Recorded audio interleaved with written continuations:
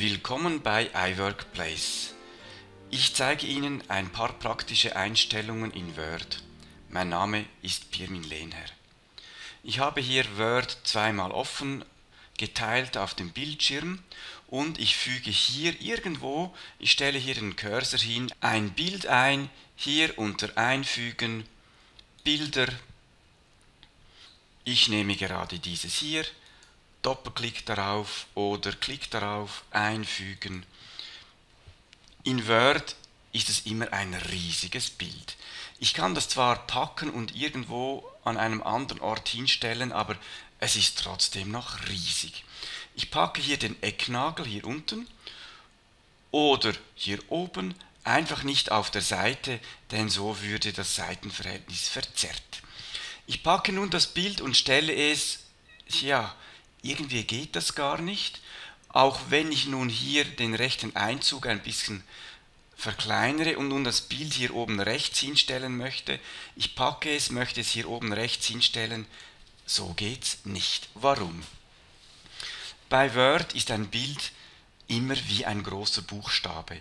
Ich muss hier zuerst bei diesem Regenbogen auf Quadrat klicken Erst dann fließt der Text um das Bild herum. Oder man könnte sagen, das Bild sei hinter dem Text oder vor dem Text. Ich nehme nun einmal eben Quadrat und jetzt kann ich das Bild dorthin stellen, wo ich gerne hätte. Ich will das aber nicht jedes Mal so einstellen. Mir wäre es lieber, es kommt immer bereits als Quadrat. Sie finden die Einstellung hier.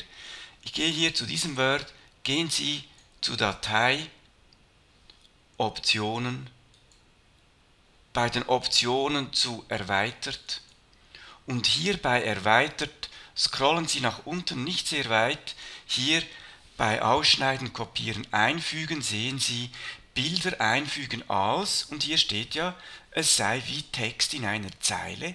Das ändere ich nun und klicke hier auf Quadrat. Lassen Sie sich nicht verwirren, dass hier plötzlich ein Hund statt ein Regenbogen erscheint. Früher wurde das dargestellt mit einem Hund. Quadrat. Okay. Und wenn ich jetzt ein Bild einfüge, dann funktioniert's. Ich probiere das nochmals. Einfügen. Bild. Ich nehme das noch einmal. Einfügen. Ich kann das kleiner machen und sofort dorthin stellen, wo ich es gerne hätte. Ich bin wieder zurück und möchte hier zwei Kürzel von Mitarbeitern einfügen. Ich mache eine Zeilenschaltung. Hier eine Klammer, Go für Cornelia, Klammer zu, Schubs und plötzlich steht da Copyright statt C oder zum Beispiel Klammer E für Ernst, Klammer zu und hier steht Euro. Da ist also ein Automatismus hinterlegt, der mich je nachdem stört oder den ich unter Umständen auch nutzen kann. Wo wird das eingestellt? Ich gehe hier wieder zu Datei, Optionen, bei den Optionen zu Dokumentprüfung und hier bei Dokumentprüfung zu Autokorrekturoptionen und hier drin sehen Sie Copyright E für Euro. Sie können hier einen Klick drauf machen löschen, hier einen Klick drauf machen und löschen oder grundsätzlich diesen Automatismus hier ausschalten oder aber ich würde doch diesen Automatismus nutzen. Zum Beispiel, ich habe einen Mitarbeiter, der hat einen unglaublich komplizierten langen Namen. Ich schreibe hier die Kurzform seines Namens hinein, Tiru, und hier hinten soll statt Tiru sein langer Name stehen. Okay, ich brauche in Zukunft nur noch Tiru zu schreiben und das Tiru wird ersetzt durch seinen Namen. Hinzufügen. Okay, okay. Ich gehe hier oben hin und immer wenn ich seinen Namen schreiben muss, dann schreibe ich nur noch Tiru, Leerschlag und schwupps, da ist sein ganzer Name. Ein anderer Automatismus stört auch. Ich mache hier eine Zeilenschaltung. Ich beginne mit gestern. Ich schreibe das extra klein, gestern. Leerschlag und gestern ist groß. Oder ich schreibe eine Abkürzung für Lenher Pirmin, fahre weiter, ging gestern, jetzt ist das G groß, weil hier ein Punkt steht und Word meint, das sei ein Satzende. Das ist doch komisch. Oder ich füge hier eine kleine Tabelle ein. Immer wenn ich in einer Zelle etwas schreibe, das zwar klein ist, zur nächsten Zelle hüpfe, ist das groß, zur nächsten Zelle und es ist immer groß. Das stört auch. Wo ist das versteckt? Hier unter Datei, Optionen, Dokumentprüfung, Autokorrektur, hier jeden Satz mit einem Großbuchstaben beginnen, den würde ich rausnehmen, jede Tabellenzelle mit einem Großbuchstaben, den würde ich rausnehmen, das andere würde ich stehen lassen. Okay, okay, und Sie haben Ruhe für die nächsten Jahre. Ein weiterer Automatismus stört auch. Ich mache hier eine Zeilenschaltung, ich mache einen Bindestrich, ich will da kurz etwas schreiben. Hm?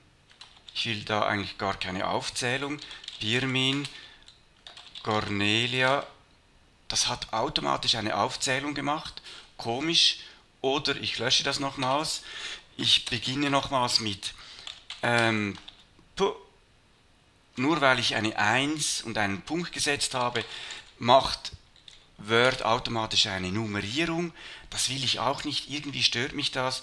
Ich kann ja hier oben dann schon sagen, wann ich eine Aufzählung oder eine Nummerierung gerne machen möchte.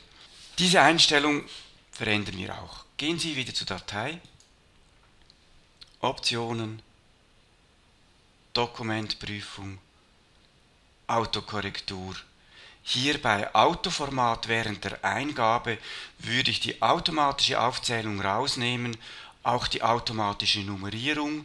Achtung, hier hinten nochmals bei Autoformat, hier steht nochmals automatische Aufzählung. Auch hier würde ich den Haken rausnehmen. Komischerweise braucht es hier die automatische Nummerierung nicht mehr zu erwähnen. Ebenfalls Bindestriche durch Gevierstrich ersetzen, das würde ich rausnehmen hier vorne ebenfalls Bindestrich durch Geviertstrich rausnehmen. Okay? Okay. Eine weitere Eigenart sind die Anführungszeichen. Bei mir schreibt die Maschine so Anführungszeichen, Birmin, Lehnherr, Schlusszeichen. Wenn Sie diese französischen ändern möchten in typografische, dann gehen Sie zu Einstellungen, Datei, Optionen, Dokumentprüfung, Autokorrektur und hier unter Autoformat während der Eingabe, hier finden Sie die geraden Anführungszeichen, setzen Sie den Haken oder setzen Sie ihn nicht und hier hinten nochmals Autoformat, hier ist es aber hier zu finden, gerade durch typografische Ersetzen. Probieren Sie es aus, das ist eine Wissenschaft für sich. Okay? Okay. Und zum Schluss, Sie kennen die Sorge, Sie schreiben eine Zahl, Punkt, Strich, Strich, das sind zwei Bindestriche, Sie schreiben weiter und plötzlich ersetzt Word diese beiden Bindestriche nachträglich zu einem langen Geviertstrich. Mich stört das, ich stelle es ab. Gehen Sie zu Datei, Optionen, Dokumentprüfung, Autokorrekturoptionen und hier Bindestriche durch Geviertstrich ersetzen, das nehme ich raus. Ebenfalls bei Autoformat, hier ist es weiter unten versteckt, Bindestriche durch Geviertstrich ersetzen, Haken raus, okay, okay, und das passiert Ihnen nie mehr. Angenommen, Sie brauchen nun trotzdem einmal den Geviertstrich, dann schreiben Sie so, ich schreibe hier 50 Punkt und jetzt die beiden Tasten Ctrl und die Alt-Taste miteinander drücken und auf dem Zahlenfeld auf das Minus, dann erscheint sofort der lange Geviertstrich. Das war's.